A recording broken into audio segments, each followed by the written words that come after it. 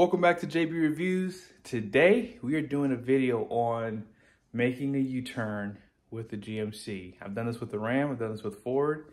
I've kind of done it with the GMC in the past, but we're gonna make a full U-turn. I'm not even gonna look back.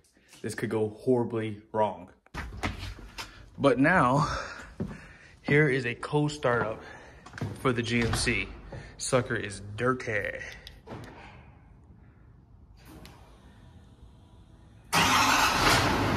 Not bad. So this truck starts up pretty darn quick.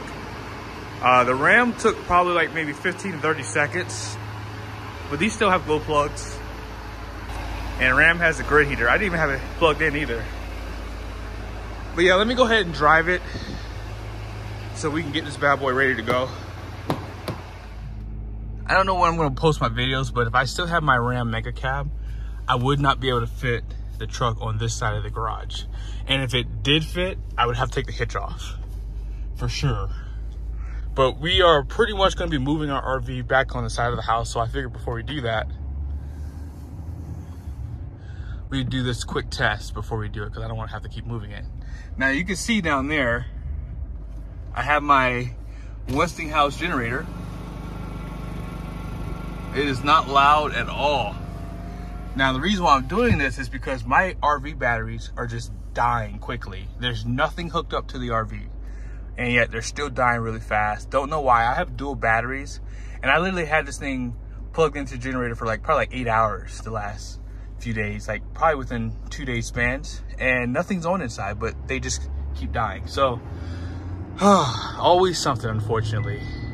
But before we tow, it's really cold. So I want to make sure we get this bad boy up to operating temperature. It's 30 degrees outside. And so I wanted to at least be at least at, what is that? 150? And then we can start towing. I need to find some good places to go off-road. Oh, wow. Check this out. Is that truck towing that RV? I think it is. Wow. Interesting. I wonder if he tows RVs for a living. But yeah, like I said, we're gonna go down the road here. I'll probably drive for like maybe five minutes, and then that should be good enough to get it heat up. And then we'll hook up the RV, and then we'll make that U-turn. And just like that, we are nice and warm. We're actually at 210, so we're good. That's operating temperature. I'm gonna drop the tailgate. Oh, I forget, with GM, you have to hold it.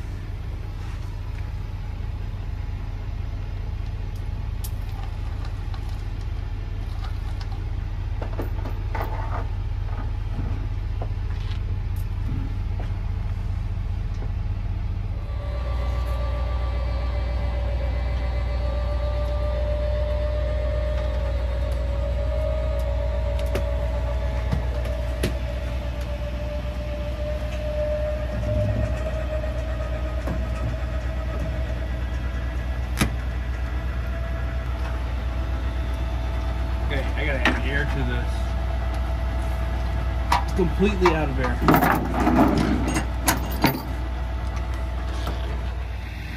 You know what's strange? We took a lot of stuff out of the RV and the truck is definitely in the same position. So moving all the weight out of the RV is pretty much making the truck squat about the same.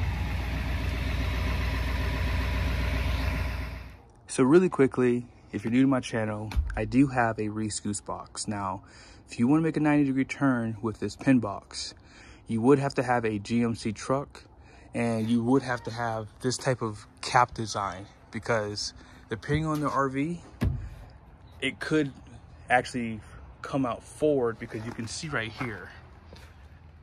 You see how much space I have from where the cap pretty much starts and where the uh, pin box is.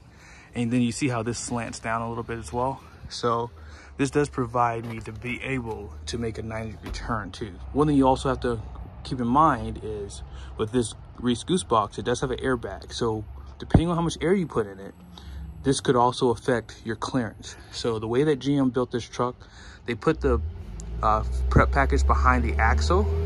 And so you're able to have a little bit more clearance between your truck and your RV.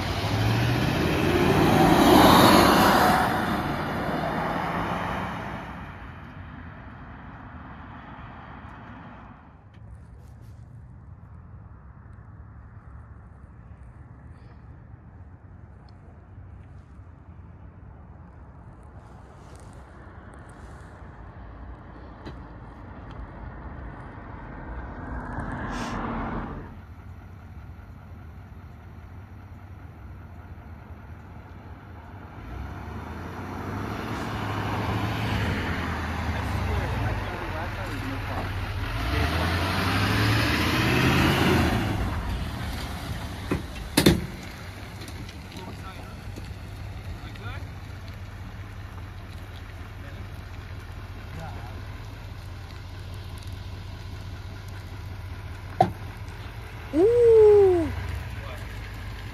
What? Keep going.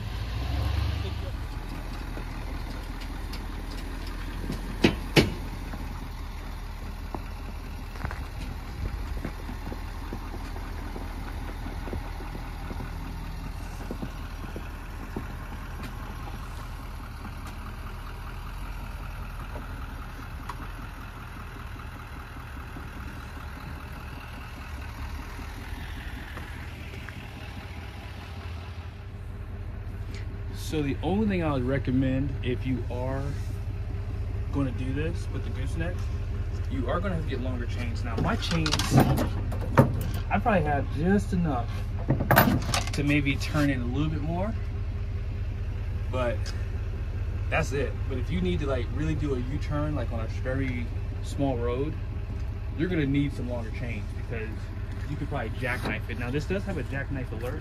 So here's what I'm gonna do. Let's see if we can make it do it, all right?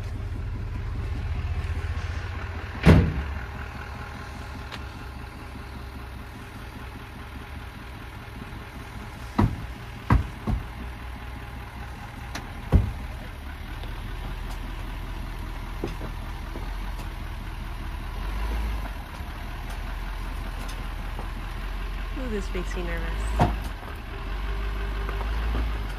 We don't live in right now, so we can do this. Okay. Oh.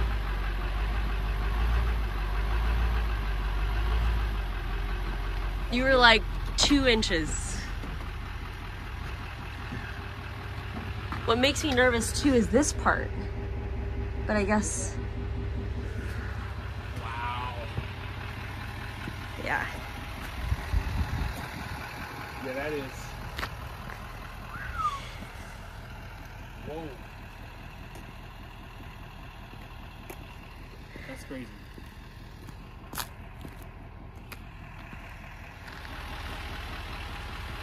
So you don't have much room. But yeah, you could literally make a 90 degree turn. Now the only thing I'll say is you cannot rock this trailer. If you rock it, it's probably gonna hit. Because this Reese Goose box has an airbag and if you air it down, it will drop the RV down too, which will make it closer to the uh, cab of the truck. So yeah, I have to be really careful backing in. But let's go back here one last time. This is clearly a 90 degree turn. I still have these are good enough for this, but I still get more ones if there's available. But look at the cab. It's clearly a 90 degree turn.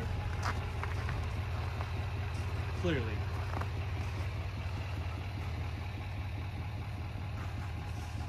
That's crazy. Get it from this angle. I want to see how it looks when it's turning in. I'm going really slow.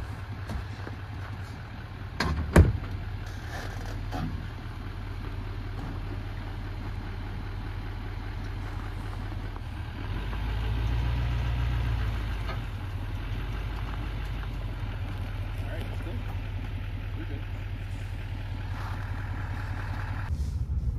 I'm going to be really sad when the day comes when I have to give up this pickup because this is the only one that can make a 90 degree turn with my setup. I can't do it with a Ford. I can't do it with my Ram. Um, I do know that Gen Y just came out with a plate that will drop the fifth wheel back some, but that might make it too close to the tailgate. So, and it's really expensive. It's like 400 bucks. So if I were to use that, I probably would have to get a Gen Y pin box too, because the Reese Goose box might be too far back. But hope the video was helpful. Be sure to subscribe to the channel. You can literally get a jackknife. Actually, we didn't. I didn't see an indicator go off. Um, I did try. I mean, I was pretty close, and I didn't want to get any closer than that. So hey, maybe in the future, before I get this truck up, we'll try to jackknife it and see if that alert will pop up.